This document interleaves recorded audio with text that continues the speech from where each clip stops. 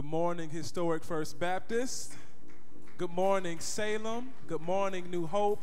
Good morning to everybody that is here and everybody that is tuned in online. We are so grateful, thankful, and we are so honored to be in the house of the Lord just one more time to praise and glorify and magnify his holy name. Did anybody come to give God the glory this morning?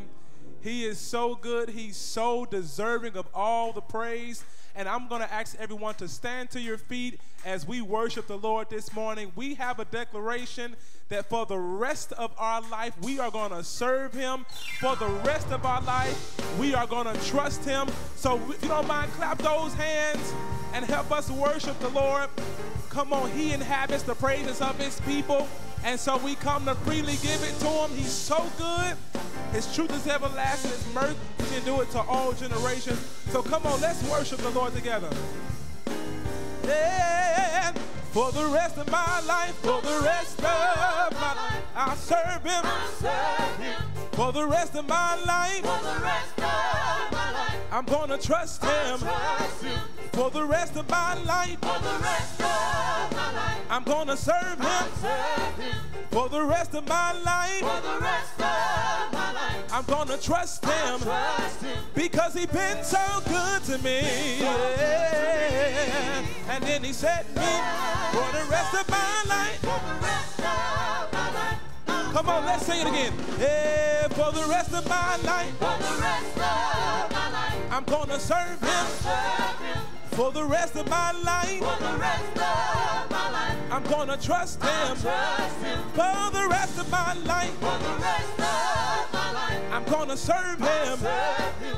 For the rest of my life. For the rest of my life. I'm gonna trust him. Trust him. Because he's been so good to me. And then he set me for the rest of my life. Just one more time, let's raise it up again. Yeah, for the rest of my life. I'm gonna serve him. For the rest of my life. I'm gonna trust him. For the rest of my life. I'm gonna serve him. For the rest of my life. I'm gonna trust him because he's been so good to me. And then he said, me for the rest of my life. I'll serve Him." Yeah,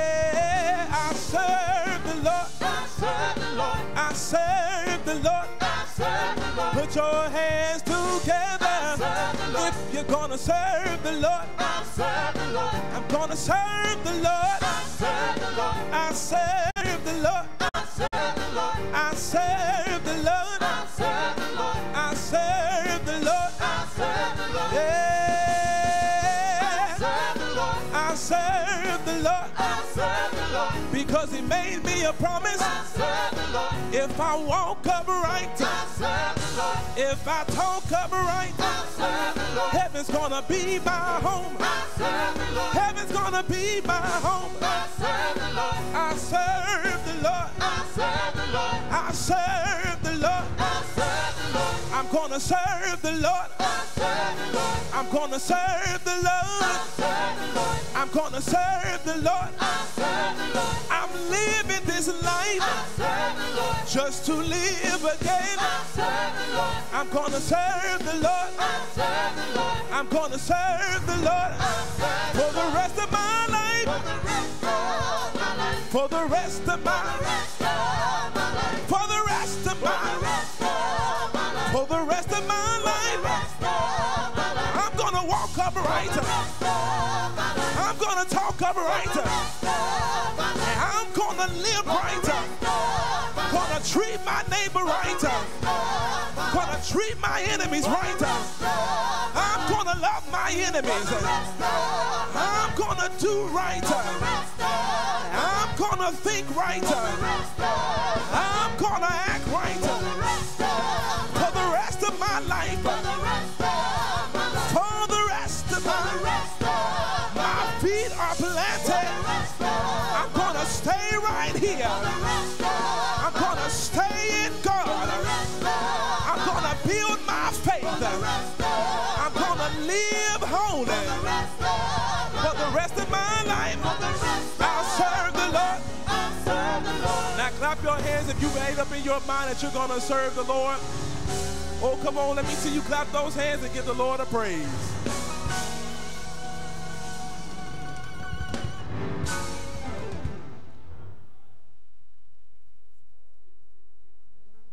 Family, for the rest of my life, rest of my life. All right, I shall be reading our Old Testament coming from the book of Deuteronomy, chapter 28, verse 11 through 13. In the scripture, it answers, What are the blessings that results from obedience to the Lord? Let's read. The Lord would grant you abundance, prosperity in the fruit of your womb, the young of your lifestyle, livestock, and the crops of your ground, in the land he swore to your ancestors to give you. The Lord will open the heavens, the house, storehouses of, it, of his bounty, to send rain on your land in season, and to bless all the work of your hands. You will lead to many of nations. You will lend to many nations, but will borrow from none.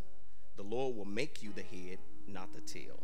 If you pay attention to the commandments of the Lord your God that I give you this day, and carefully follow them, you will always be the top and never at the bottom. New Testament coming from Matthew chapter 7, verse 24 through 27. In the scripture, how do we benefit from the teach?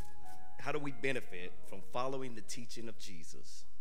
And it says, Therefore, everyone who hears these words of mine and put them into practice is like a wise man who built his house on the rock. The rain came down, the streams rose, and the winds blew and beat against that house. Yet it did not fall because it had its foundation on the rock. But everyone who hears his words of mine and does not put them into practice is like a foolish man who built his house on sand. The rain came down, the streams rose, and the winds blew and beat against the house, and it fell with a great crash. This is from Matthew chapter 7, verse 24 through 27. Bless the hearers and doers of his holy word. Can anybody declare this morning that you are blessed in the city, blessed in the field? I say, can anybody declare this morning that you are blessed? I'm here because I'm blessed. He's kept me all week because we are blessed. So help us worship the Lord this morning. The Lord is blessing me right now. He's giving me everything I need, everything I desire, everything I want. He's doing it. So help us clap those hands and help us worship the Lord together. Come on, let's sing. Sing the Lord, the Lord is blessing me, blessing me right now. right now. Oh, right now. I said the Lord is blessing me Blessing me right now. Oh,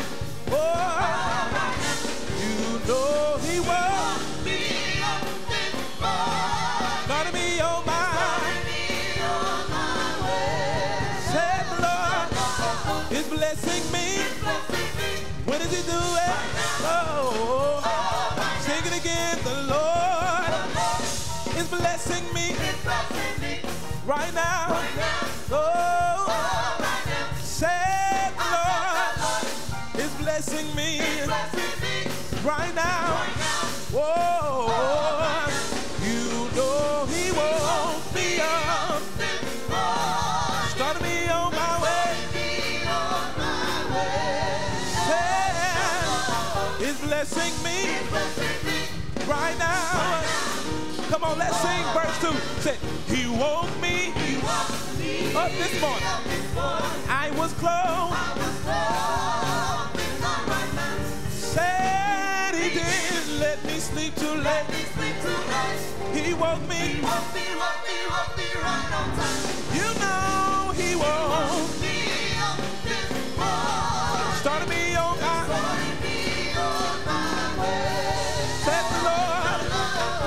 blessing me. Said right now. Every tenor, let me hear you. The Lord is blessing me.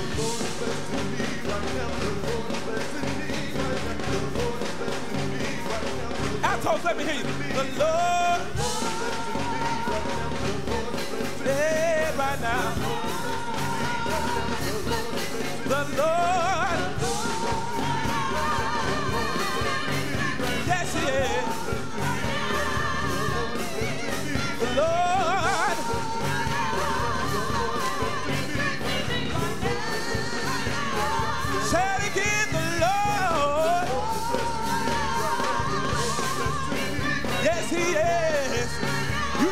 Wish I had some more people that can say, the Lord.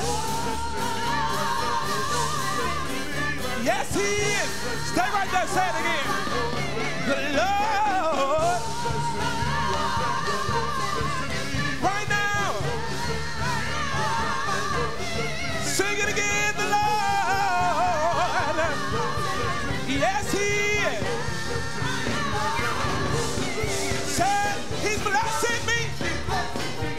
Blessing me. He's blessing me. He's blessing me. I know that He is. He's blessing me. He's blessing me. He's blessing me. Set on my job. He blessing me. Set in my house. He blessing me. Set in my family. He blessing me. Set amongst my friends. He blessing me. I know that he is. I believe that he is. I'm sure he is. He blessing me. You to clap your hands if he's blessing you. You to stomp your feet if he's blessing you. He blessing me. He blessing me. I know he blessing me. He blessing me. I'm glad about it. He blessing me. He woke me up.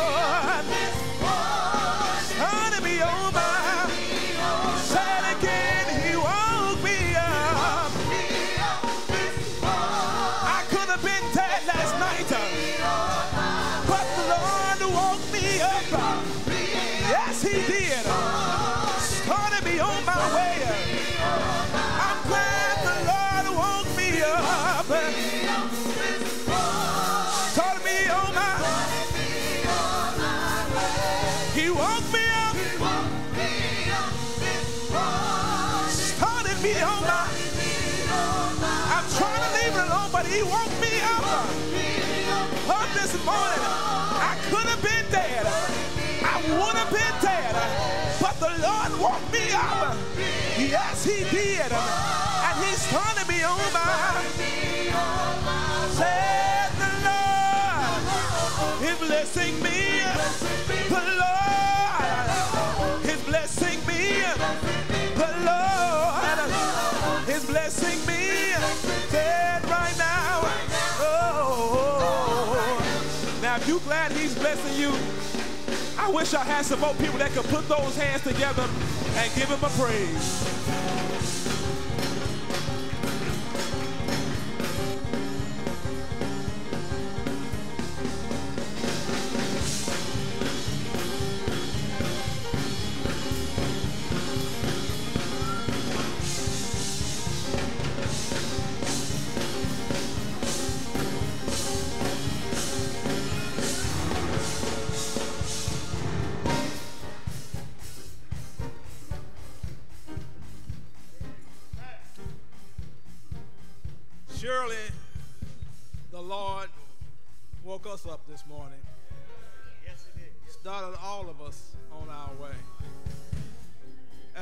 Time, let us go to the Lord in prayer.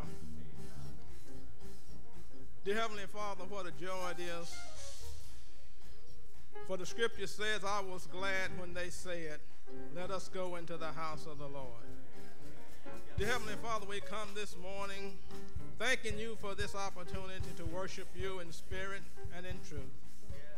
We just thank you, dear Heavenly Father, that we are clothed with our right minds. That we have the desire to come out to worship you this morning in spirit and in truth. We thank you, dear Heavenly Father, for all the blessings which you have bestowed upon each of us. Thank you, dear Heavenly Father, for health and strength. We just assemble this morning just to say thank you. Dear Heavenly Father, we pray that you would bless our efforts today. Uh-huh. Bless Reverend Watson, who is out. Continue to protect him and give him strength.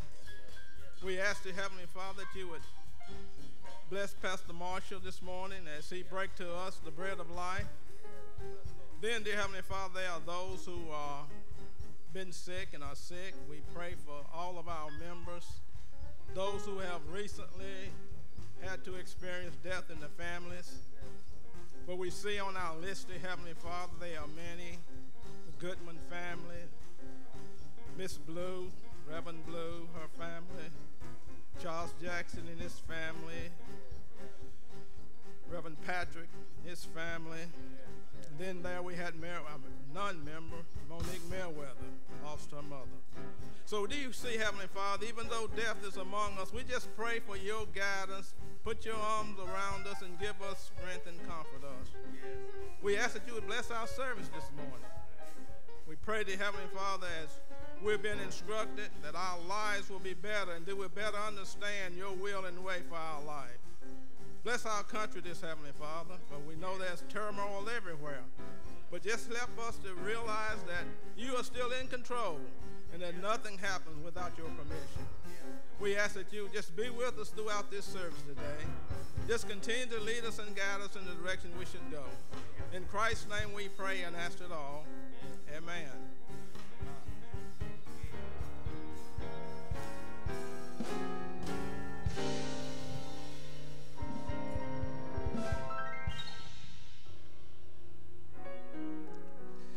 Good morning, historic First Baptist, Salem and New Hope. God bless you this morning. God bless you. Well, we'll come to the second part of our worship. It is giving time. Yes, it is. It is giving time. Let me draw your attention to the book of Malachi, chapter 3. I want to read only one verse. Again, that is the book of Malachi, chapter 3 and verse 10. Listen to these words. It says, Bring the whole tithe into the storehouse, that there may be food in my house. Test me in this, says the Lord Almighty, and see if I would not throw open the floodgates of heaven and pour out so much blessings that there will not be room enough to store it. Amen. I like this. This is one of my favorite scriptures because I've been one of them who has put God to the test. And I've seen God do what he said that he would do. He's, I done seen him rebuke the devourer for my sake. I've seen him give me more than I even had enough room to store in my house, in my garage, in my outhouse out back. I've seen God through my giving do extremely magnificent things. But don't let me leave that out. I've seen him when I need him to, to, to, to take care of a situation with my children regardless of what it was, I've seen God again make things better. And so we actually here this morning at Historic First Baptist to give, to give graciously, to give back ultimately what God has so graciously given you. And because of that, we are who we are today through what God has blessed us with through our jobs, through our businesses, it's all because of God. It ain't us. It ain't been because we've been so smart, or yet we have done everything right. If truth be told, it's all been because of the Lord. Amen. All right, all right. Listen, for those who are online, uh, if you made, there's a couple ways that you can give this morning also. There's Givelify, there's Text to Give, it's the app Church by Ministry One. You can also download, but don't stop there. You can also give by mailing your gift in at 433 Martin Luther King Drive here in the great city of Jackson, Tennessee, area code 38301. But there's one more way you can give also. You can also, by logging on to the World Wide Web, you can also give at historic, excuse me, historic First Baptist Church.org slash give. Okay? Listen, let me do something with you this morning. Let me pray with you over your offering. Can I do that with you this morning? All right, let us pray. Father God, we thank you again, God, for what you have done in our lives, God. Thank you, God, for every gift is true, God. It comes from above, God. You have blessed us, God, yet above measures, God. And this morning, God, by obedience, God, we bring back yet the offering and the tithe, God, unto you, God, that this church, God, may have enough food, God, to bless our community, but yet, God, also bless every individual here in this church, God. It is because of you, God, that things are so perfect, God. Not perfect as perfect, God, but because you are perfect, God you make all things better, God. So, God, you said, God, that if we'll give, God, we believe that you are a man of your word, God, and that your word shall not come back void to us, God. You said, Give, and you'll rebuke the devourer for our sake, God. And so, God, we trust you this morning, God, that you will do what you said that you would do, God. We thank you now, God for being a God who is concerned yet about our needs. Now unto him who has been able to keep all of us from falling, and yet who has presented us before the Father with exceeding joy, it is in the matchless name of Jesus Christ. These things we ask you, Lord. And now let the church say, Amen.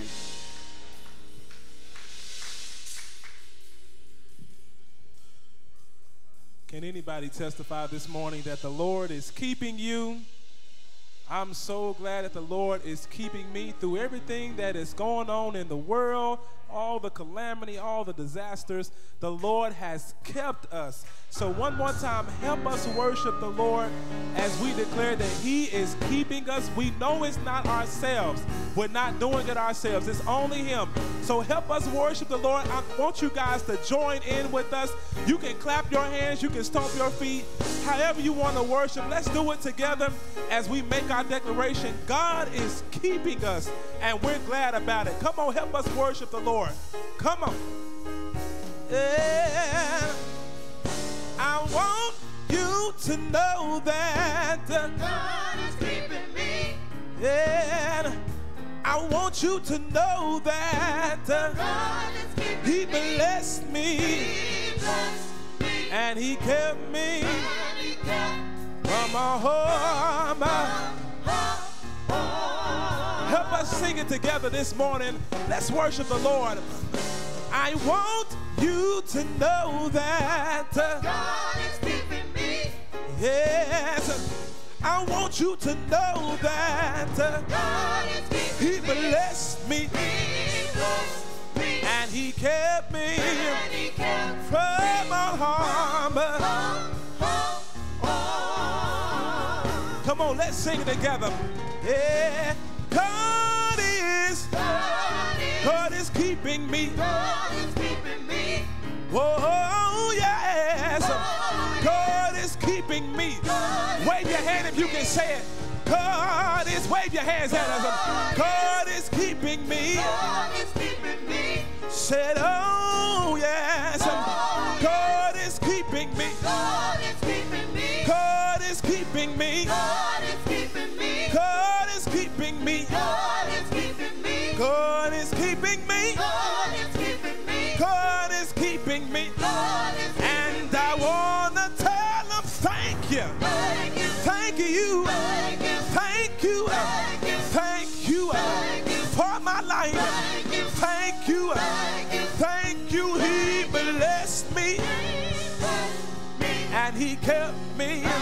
Said the Lord bless me. And he kept me. He blessed me. And he kept me from my heart. Now, if you're glad the Lord is keeping you, put those hands together one more time and let's give him a praise.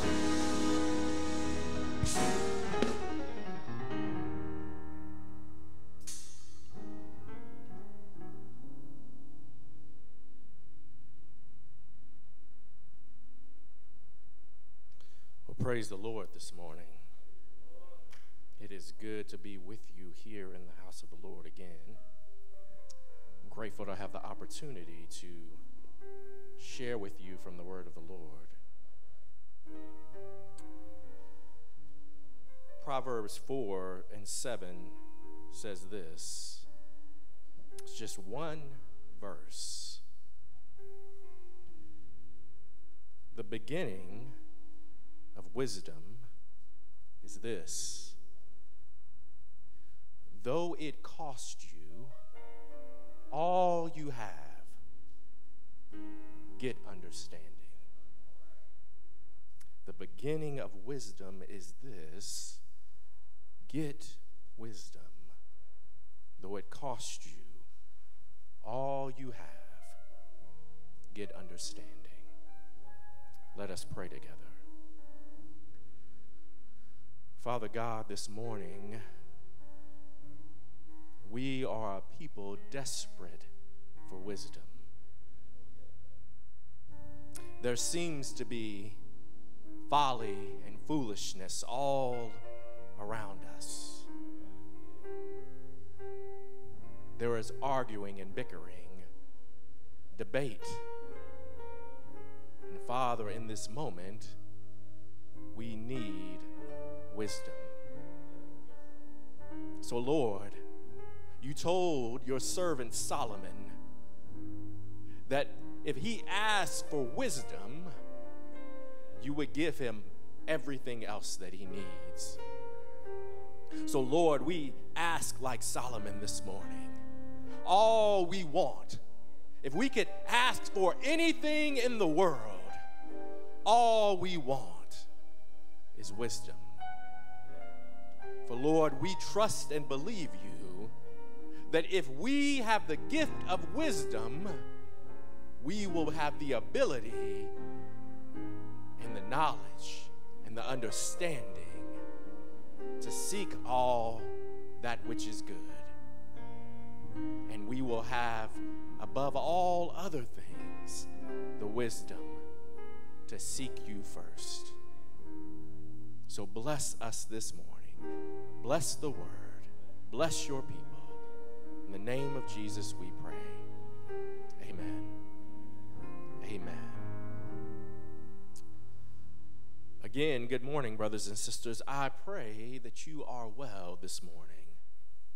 And again, even as we pray, that despite the troubles of the world, that you've entered into this space this morning with hope.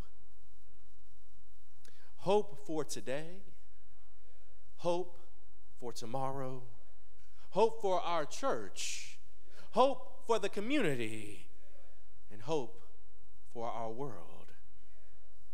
Hope is a virtue that can feel like a hard commodity to come by nowadays. But that seems to be true of virtue itself. Uh, I, have got to get this off of my chest this morning because I, I've noticed something strange these past several months. I've been traveling a lot for work, and for some reason, it's as if people have forgotten that the left lane is for slow drivers.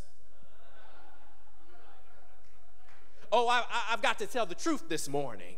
Because people have come out of the pandemic, out of isolation, thinking that they can just drive in any lane that they want to. No, I, I'm here to tell y'all this morning some of y'all need to be in the right lane. You're holding up traffic. Some of us have got places that we're trying to get to. The right lane is for everyone who drives five miles under the speed limit. The left lane is for everyone who drives at the speed limit. I can't have y'all out here thinking that I'm, breaking laws. I'm going the limit most of the time. Actually, that's not really the most shocking or important thing that I've noticed about traffic patterns lately. There are, or there is, a far more significant occurrence that I've picked up on that's left me frustrated. I'm not sure if any of you have noticed this, but most people no longer pull over to the side of the road for funeral processions or for ambulances, especially if they're going in the opposite direction. They just keep on putting down the road. No respect for the families in mourning, nor for the families or first responders in crisis. I've seen too many times, and it just leaves me dumbfounded. Have we become so selfish that we can't take a few seconds to surrender the road to show respect to somebody in loss? What the drivers lack is understanding. That is empathy, compassion, and wisdom. And that will be the focus of our time together this morning wisdom and understanding. Back last year, during one of our Bible study series, we discussed the spiritual gifts.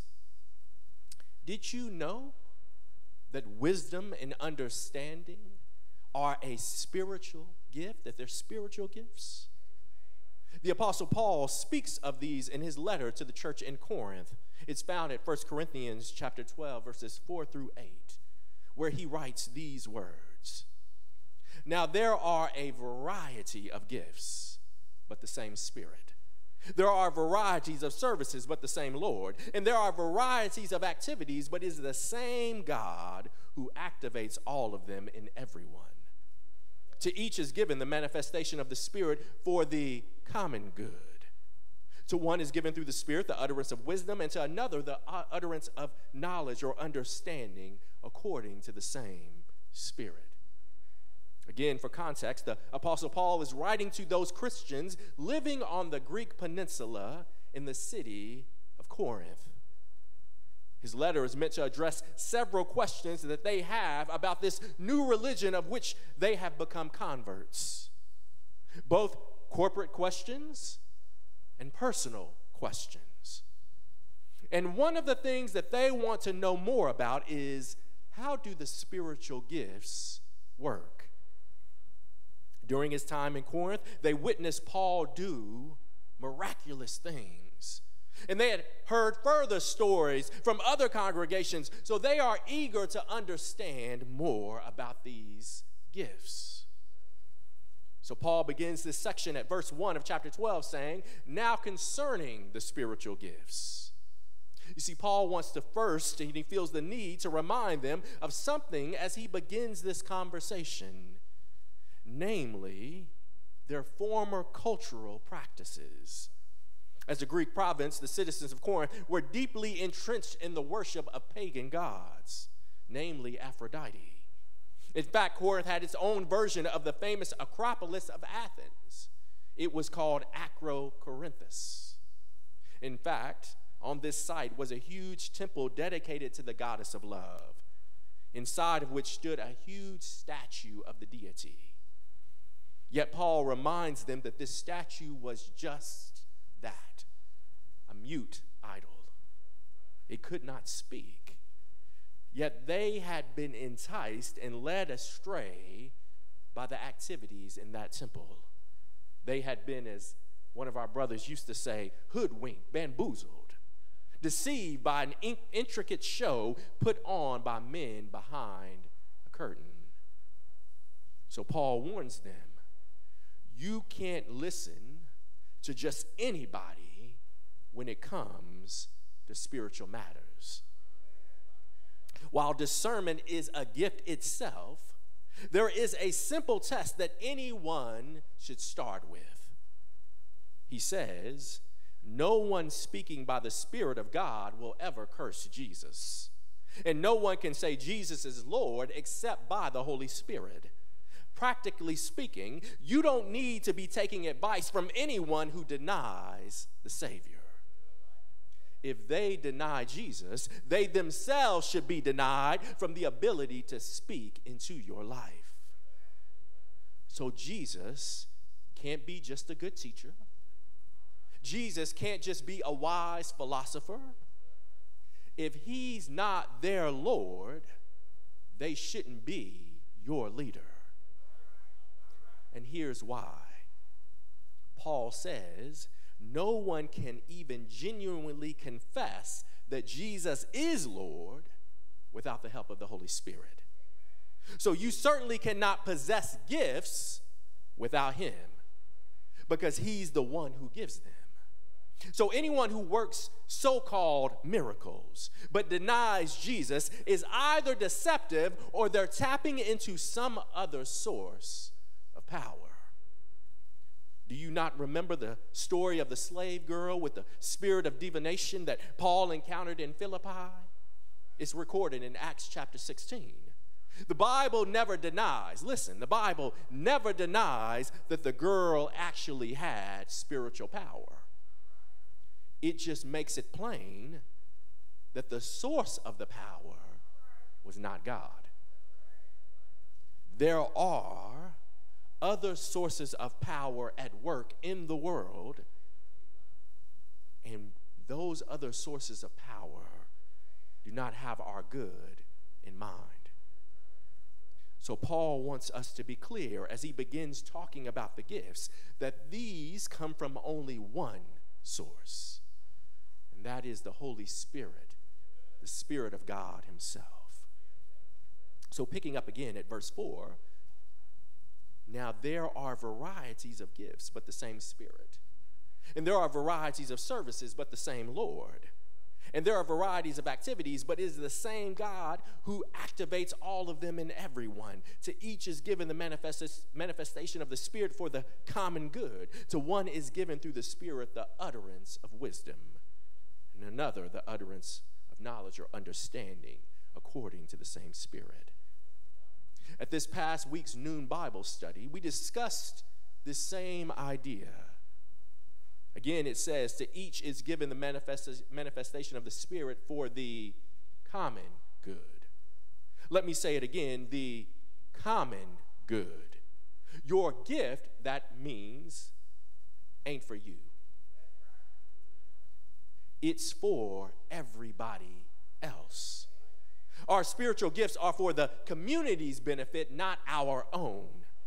This should be easy to discern because notice the language used again in verses 4 through 6. There are varieties of gifts, varieties of services, varieties of activities. Yet Paul is talking about one and the same thing.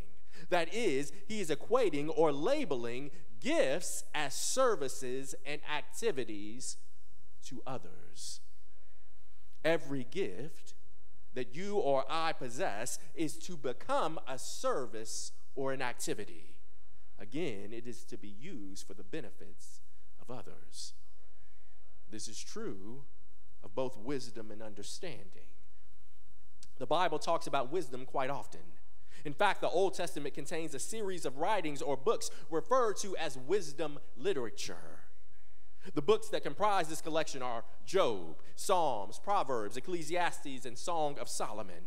These books generally emphasize the importance of understanding and attaining wisdom for all areas of life, including our relationship with God and our relationships with others. They talk about marriage, family, community, and faith. And here are just a few excerpts that specifically deal with the theme of wisdom. Proverbs 16 16. How much better to get wisdom than gold? To get understanding is to be chosen rather than silver. Job 12 12. Is not wisdom found among the aged? Does not long life bring understanding? Ecclesiastes 2 26. For to the one who pleases him, God has given wisdom and knowledge and joy. But to the sinner, he has given the business of gathering and collecting only to give to one whom pleases God. This is also vanity and striving after the wind. Proverbs 29 11. A fool gives full vent to anger, but the wise quietly holds it back. Proverbs 19 and 8. To get wisdom is to love oneself. To keep understanding is to prosper. Again, all of these sayings are given that we might both aspire to and attain wisdom. That we might, from that wisdom, lead upright lives that bring peace not only to our home, but to the homes of our families and friends. But if we are to ask what wisdom actually is, the Bible gives us a hint by connecting it with an often repeated observation. Proverbs 16:31 says, "Gray hair is the crown of glory, and it is gained in a righteous life." Proverbs 20, 28, and 29 say, Steadfast love and faithfulness preserve the king, and by steadfast love his throne is upheld. The glory of a young man is their strength, but the splendor of an old man is their gray hair. How often have we heard that with gray hair comes wisdom? If you haven't heard that yet, it's because your gray hair hadn't started coming in yet. Just wait. Just wait. Because when you begin to hit middle age, and the silver streaks starting appearing as you yearn for what used to be, particularly the vitality and appearance of your youth, someone will inevitably encourage you not to worry too much about the gray hair because, baby, that's just wisdom coming in. And while we know, we all know, some folks who have heads full of gray hair but still lack common sense there is a certain truism about gray hair and wisdom. This is because, generally speaking, wisdom is ultimately about experience. The dictionary defines wisdom as the quality of having experience, knowledge, and good judgment, the quality of being wise. So, wisdom is first and foremost about having again, experience. Now, you may be asking, well, how exactly is that a gift? Well, because the experiences that you've had in your life are themselves gifts from God. You didn't choose where you were born, you didn't choose who you were born to. And there have been several other things that have taken place along your journey that were also out of your control. Thus, these experiences you've had, listen to me, even the bad ones, were gifts. Because even the ill happenings have produced for you wisdom. Joseph told his brothers, What you meant for evil, God used for good. You see, that brother learned from his experiences, even the traumatic ones. And when we learn from ours, we too gain wisdom. Our trials shape and mold us, they produce in us character And listen to these words from Romans 5 3 through 5. It says, We rejoice in our sufferings, knowing that our sufferings produce endurance, and endurance produces character, and character produces hope, and hope does not put us to shame, because God's love has been poured into our hearts through the Holy Spirit who has been given to us. Yes, with experience comes character and with character comes wisdom. And that wisdom then produces in you the opportunity to provide guidance to those going through the same th- thing you went through. Notice that in our text in 1 Corinthians, it actually says that the gift is the utterance of wisdom, not just wisdom itself. To put it another way, the gift is the ability to give wise advice. It's even clearer now, right, that the gift is not for you, but for others. You've been given this wisdom in order to share it with those coming after you because your experience has taught you both, listen, the chutes and the ladders. The chutes to avoid, that is, and the ladders to climb. But let me also talk for just a second about what it looks like when you ignore the lessons of your experience. If the education of experience produces wisdom, then naturally, the ignoring of that instruction produces foolishness, which is defined as a lack of good sense or judgment. When it comes to foolishness, there is nothing worse than having endured the suffering of trials and yet exit them having learned nothing through the process. Such a person becomes destined to repeat their mistakes. This is referred to often in Proverbs as folly. Proverbs 15 21 Folly is a joy to one who has no sense, but a person of understanding walks straight ahead. Proverbs 14 16 one who is wise is cautious and turns away from evil, but a fool is reckless and careless. And Proverbs 26:11 says, "Like a dog that returns to his own vomit is a fool who repeats his folly." So wisdom is not only our having had the experiences, but our having learned from them. Our having paid attention to the lesson so as to prove we understood the assignment.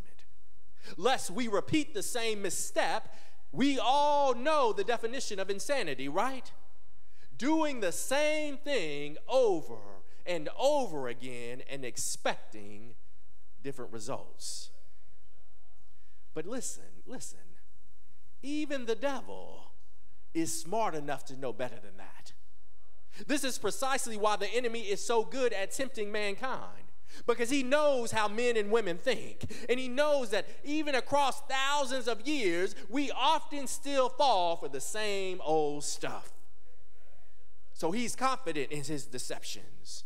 But a wise person resists the schemes of the devil.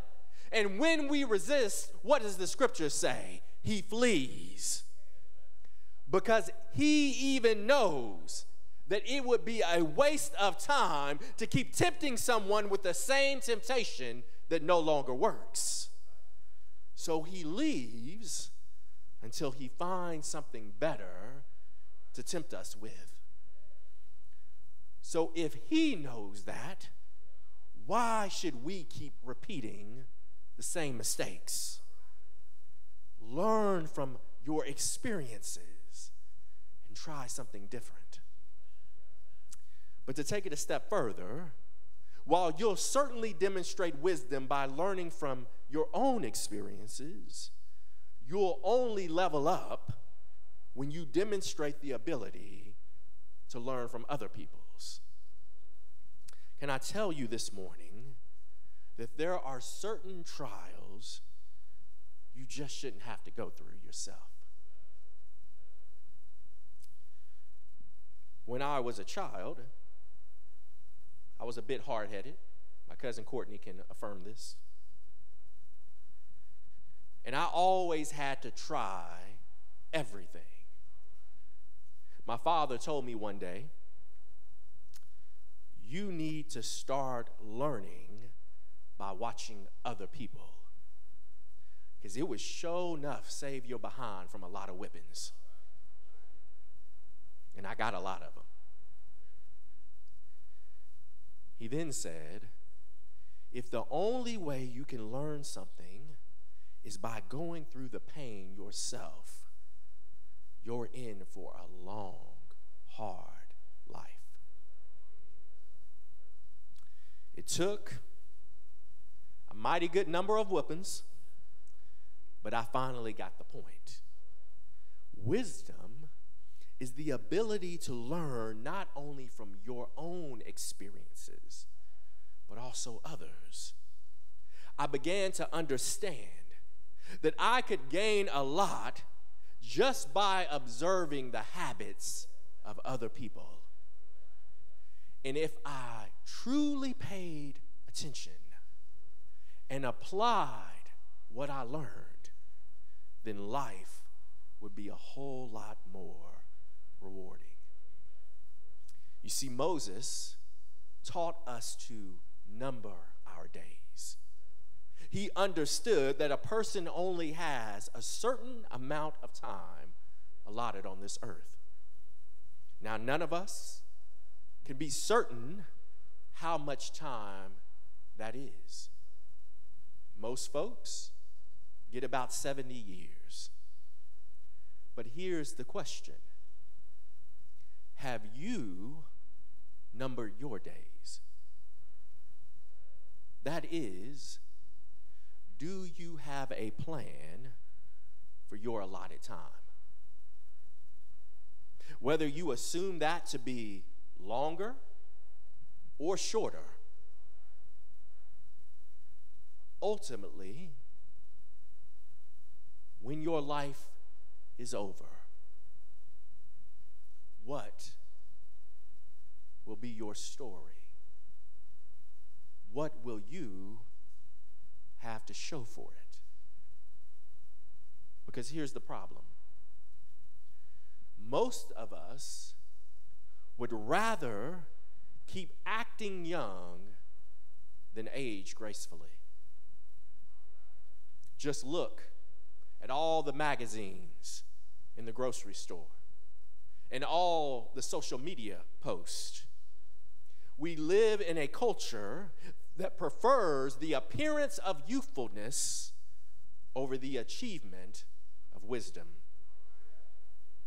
And I'm here, I'm here to remind you this morning growing old is a gift. Growing old is a gift.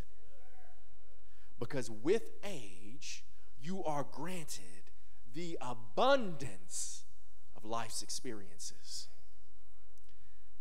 And it's the overflow, the outpouring of those experiences that become wisdom that you can then share with the next generation. Billy Graham is quoted as saying, When granted many years of life, growing old is natural. But growing old with grace is a choice.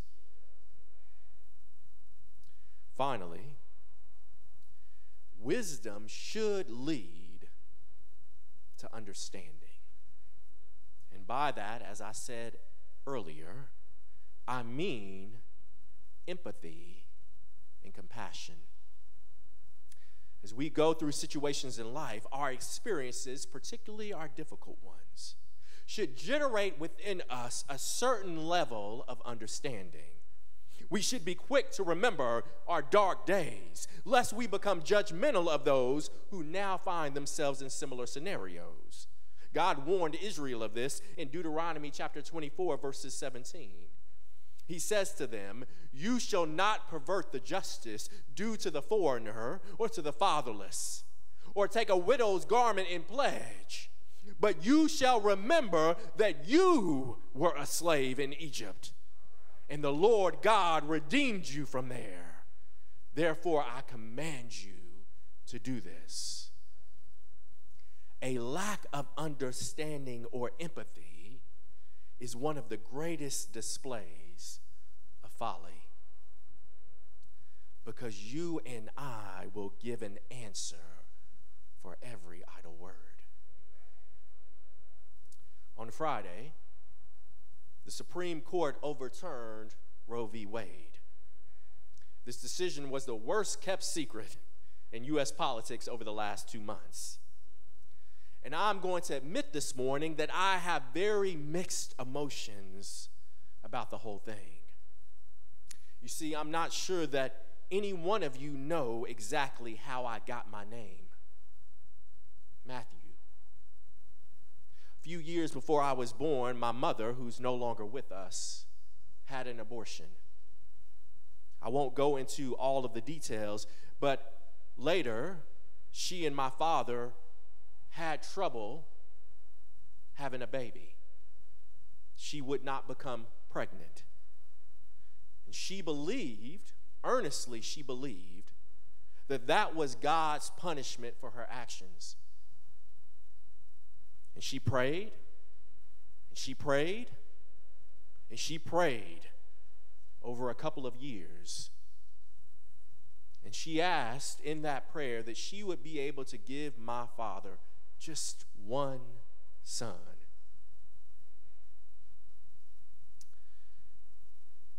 She finally became pregnant with me. And she decided to name me Matthew because it means gift from God.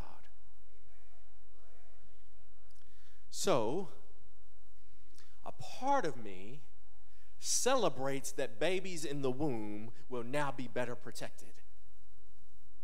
My mother worked at Birth Choice several years ago, a ministry I support. However, there is another side of me that laments the general lack of wisdom and empathy in how this whole thing played out. You see, I've witnessed women who themselves had abortions have their emotions manipulated as they are radicalized into a movement. And they've been persuaded to yell and scream outside of clinics at other women considering the procedure. Some of these same women have maybe forgotten how lonely and heartbreaking that choice was for them to make. They've forgotten how they came to that decision because the community and sometimes their own families had failed them failing to provide support emotionally, spiritually, financially. I've witnessed those who claim our faith weaponize our faith and pursue, as I've told you before, power and politics over people.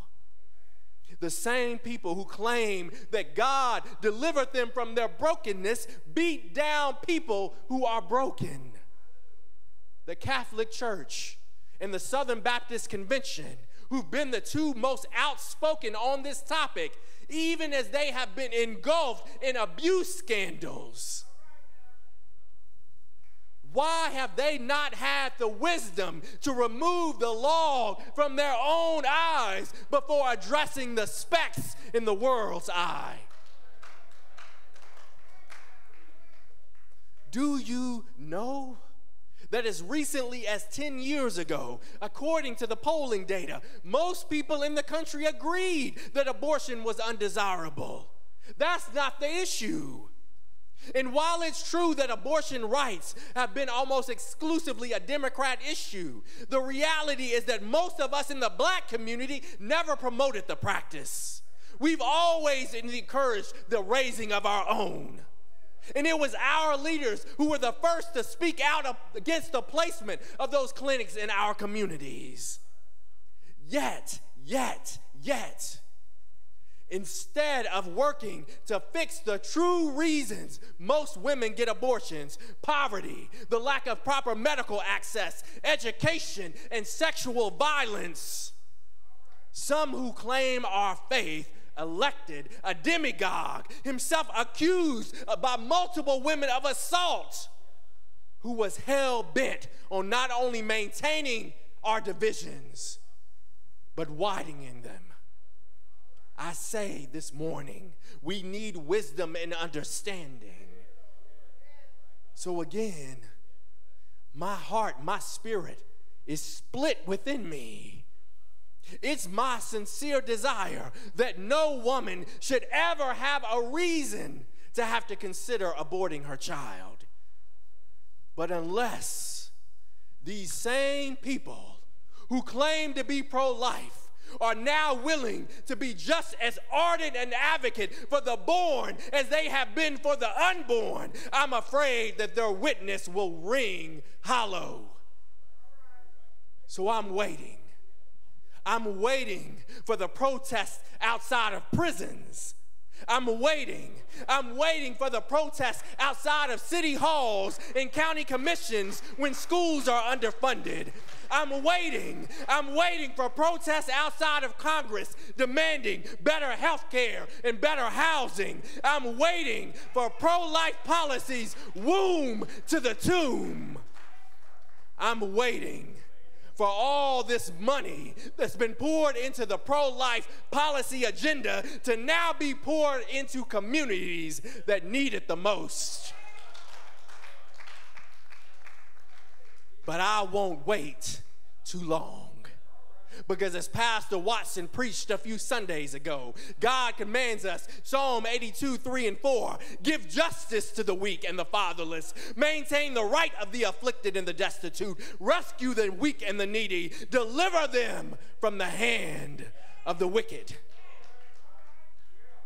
So, yes, babies in the womb need protection, but so does that mother both before and after the birth.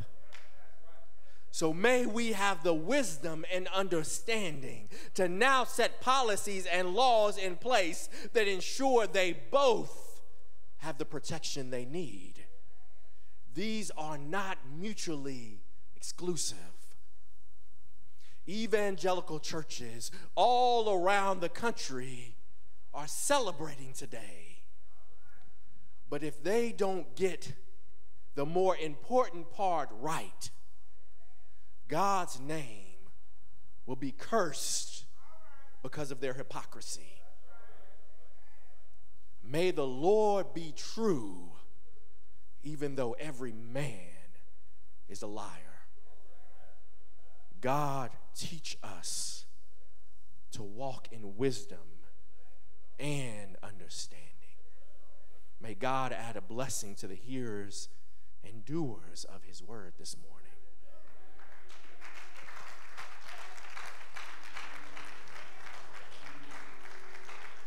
Brothers and sisters, it is a reality that we are a broken people that reaches out to the broken. I said to a couple of coworkers a week or two ago, we were having some conversations about the differences between the black church and the white church. I've been in both. And I said, one thing that always stuck, stood out to me is the types of songs we often sing. Very often in the black church tradition, we sing songs of lament. We cry out to the Lord to rescue us from our hardships, to deliver us from our oppressors. And so often in white congregations, they sing songs of victory. They sing songs about how they are marching into battle on behalf of the Lord to take what belongs to them, to the kingdom. Here's the reality both are right. We are God's soldiers. But if we are not careful to be reminded, to remind ourselves often that God delivered us from our bondage, that He set us free from our chains, then we will become in our victory march oppressors. We march not with swords and shields. We march with plowshares and flags of peace. And again, as I said a moment ago, if we don't get that balance right, we bring disrepute to the entire ministry. Let us get that right. So, brother or sister, as you are out there this morning, we invite you into the family. We invite you into our army. But again, we don't invite you to take up a sword. We invite you to extend a hand of peace. We have so much work to do in the world. And we must be peacemakers in the process. I've asked you before when the world thinks of us, when they think of the church, do they think of love? Or do they think of judgment? We need to have the wisdom and understanding to be people who love others in the same way we want to be loved. So, brother, sister, again, if you're out there, we invite you in to this opportunity to become a member at a place that will love you. Love you just as you are because Jesus loved us just as we were. But I'll tell you, He didn't leave us as we were. He forms within us greater love and greater love and greater love every single day. And we want to invite you into that, to be on that journey with us. Would you come? Would you come? We offer Christ to you, oh my brother. We offer Christ to you, oh my sister. He will give you brand new life. He'll give you life abundantly. So come, come on to Christ. We praise God for all of you who made a decision today. It was on the screen for you, but there are ways for you to now get involved and get connected with our church. And so you can reach out directly to us. Uh, and again, they'll pull that up on the screen for you. Uh, you can dial the phone number here to the church. You can also email us directly.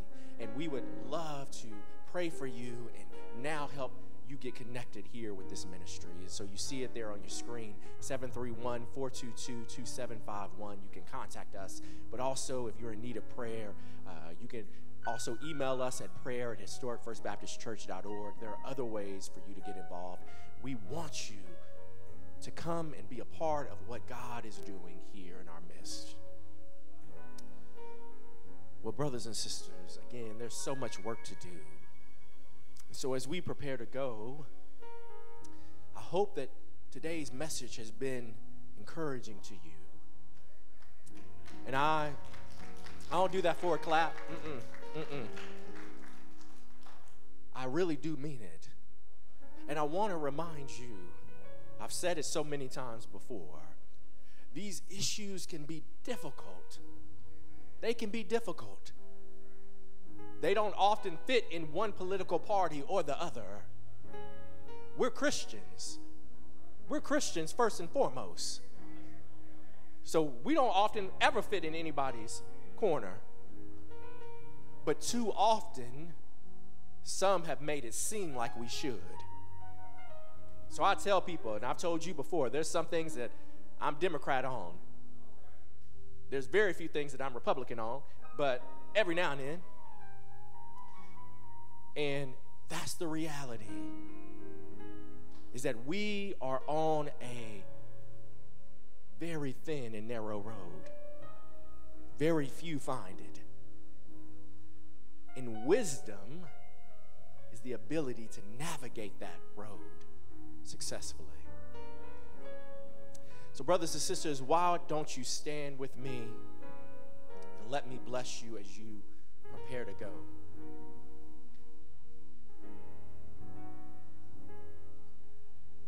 Look this way. May the Lord bless you and keep you. May the Lord make his face to shine upon you and be gracious to you. And may the Lord lift his countenance upon you and give you his peace. In the name of Jesus, amen.